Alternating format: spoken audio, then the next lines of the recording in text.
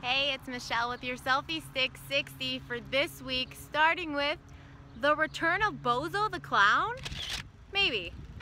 WGN and CW are breaking up their relationship. So uh, WGN is actually left with 20 hours of free programming starting in September. Chicago Tribune has a great idea when they said that we should uh, revamp, reinstate the Bozo the Clown show. You can read all about that at 97zokonline.com.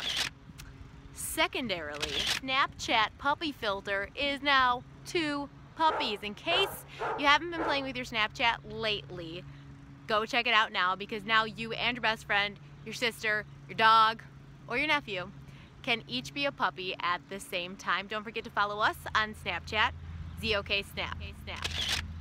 Finally, summer is here, including a bunch of days where you can actually go to Chicago museums for free. The entire list of free admission days for Chicago area museums is waiting for you at 97zokonline.com. Don't forget to subscribe to our YouTube channel, ZOK TV, so you never miss a Selfie Stick 60. Another one coming at you next week.